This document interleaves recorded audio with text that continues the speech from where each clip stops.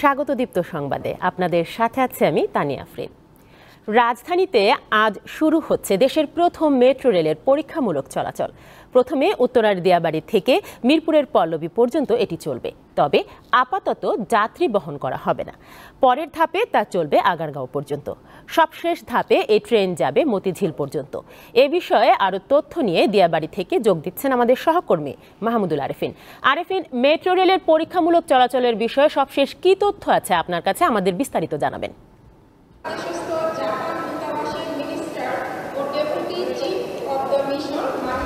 Tania, metro rail কিন্তু এখন আর স্বপ্ন নয়, বাস্তবতা। আপনি আমার পেছনে দেখতে পাচ্ছেন যে এখানে মেট্রো রেলের উপরে আসলে ট্রেন দাঁড় করিয়ে রাখা হয়েছে।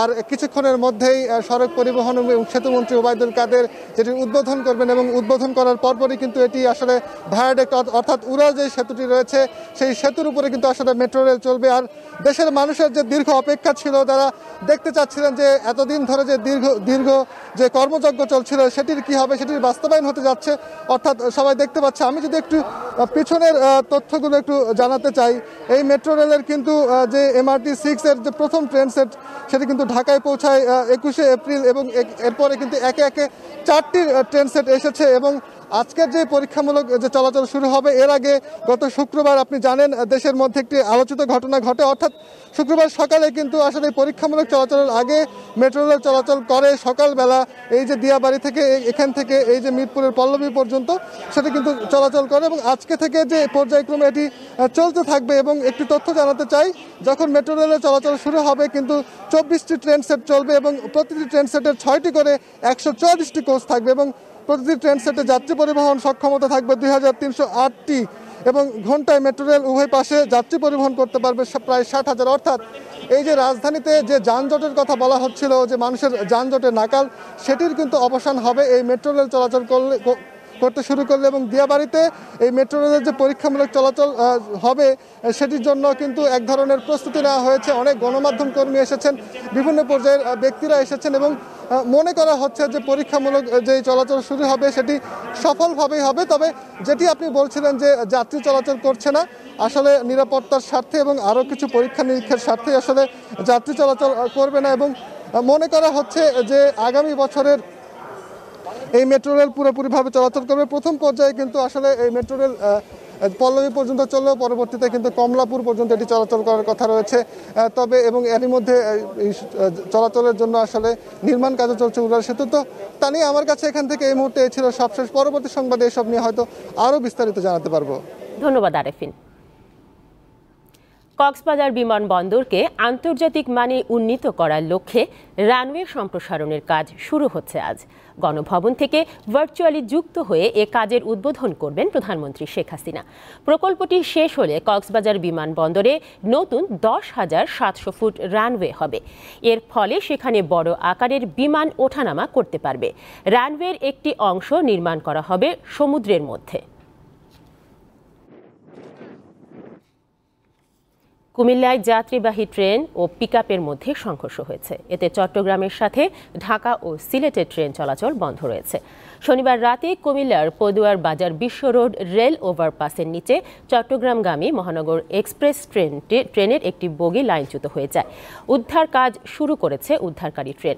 এ দুর্ঘটনার কারণে ঢাকা, সিলেট ও ময়মনসিংহ থেকে চট্টগ্রামমুখী কয়েকটি ট্রেন বিভিন্ন স্টেশনে আটকা পড়েছে বলে জানিয়েছে রেল কর্মকর্তারা।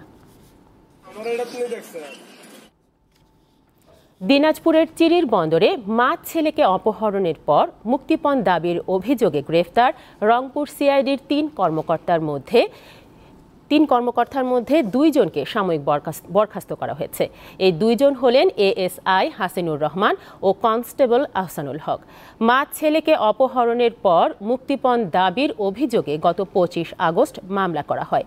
এই মামলায় রংপুর সিআইডির এএসপি সারোয়ার কবির, এএসআই হাসিনুর রহমান ও কনস্টেবল আহসানুল হক, মাইক্রোবাস চালক হাবিব সহ পাঁচজন কারাগারে আছেন। প্রিন্টিং জটিলতায় প্রবাসী বাংলাদেশিরা পাসপোর্ট নবায়ন করতে পারছেন না বলে অভিযোগ উঠেছে।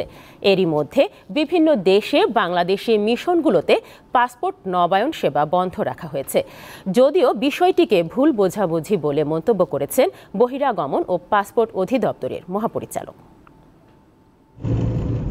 জনশক্তি কর্মসংস্থান ও প্রশিক্ষণ ব্যুরো বিএমইটির তথ্য মতে উনিশশো ছিয়াত্তর সাল থেকে এ পর্যন্ত এক কোটি ত্রিশ লাখ বাঙালি কর্মসংস্থানের জন্য বিশ্বের একশো পঁয়ষট্টিটি দেশে পাড়ি জমিয়েছেন।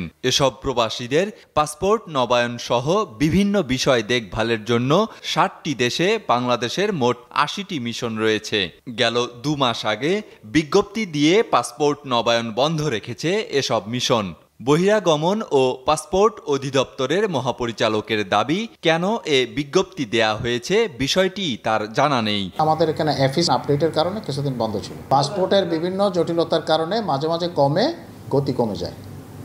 এটা। আবার পাসপোর্ট প্রিন্টিং আবার যখন গতি বেড়ে যায়, তখন আমরা যেগুলো ব্যাক পড়েছিল সেগুলো দিয়ে দিই। তো ই পাসপোর্ট যতদিন শুরু না হয়, ততদিন আমরা এমআরপি সিস্টেমের উপর আসি এটা মাঝে মাঝে কম বেশি হয়, আগেও হয়েছে এখনও হবে, তবে আমরা সতর্ক আছি। এদিকে দীর্ঘদিন পর করোনাকালে বিদেশ ভ্রমণে নিষেধাজ্ঞা তুলে নেয় পাসপোর্ট নবায়ন সহ নতুন পাসপোর্টের আবেদনের সংখ্যা বেড়েছে আগারগাঁও পাসপোর্ট অফিসে এমন পরিস্থিতিতে মালয়েশিয়ান প্রতিষ্ঠান আইরিশ ইন্টারন্যাশনালের সঙ্গে তিন কোটি মেশিন রিডেবল পাসপোর্টের জন্য আঙ্গুলের ছাপ নেয়া এবং পাসপোর্ট ছাপানোর চুক্তি শেষ হয়েছে গত জুনে। ফলে নতুন করে এমআরপির আবেদন আর তথ্য ভাণ্ডারে অন্তর্ভুক্ত করা যাচ্ছে না।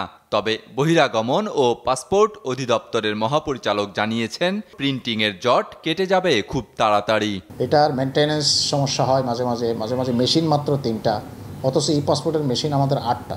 বাট আমরা সমাধান করি, করেই যাচ্ছি। জটিলতা পুরান সিস্টেমেরটা ফালাই দিলে ওটার কোনো জটিলতা থাকবে না। পাসপোর্টের মেয়াদ না থাকায় বিদেশে আটক হওয়ার আশঙ্কা যেমন বাড়ছে তেমনি মেয়াদ উত্তীর্ণ পাসপোর্ট নিয়ে ভ্রমণের সুযোগও থাকছে না।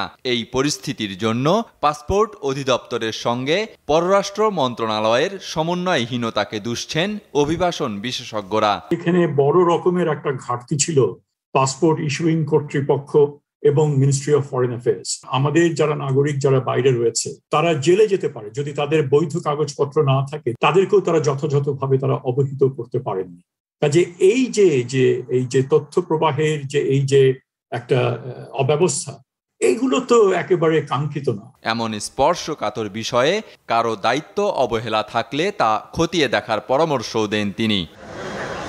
আহাদ হোসেন টুটুল, দীপ্ত সংবাদ, ঢাকা। এই ছিল এখনকার মতো। আমাদের পরবর্তী সংবাদ বেলা বারোটায় দেখার আমন্ত্রণ রইল। আর আমাদের সাথে অনলাইনে যুক্ত থাকার উপায় Facebook dot com slash Deepto news এই ঠিকানায়।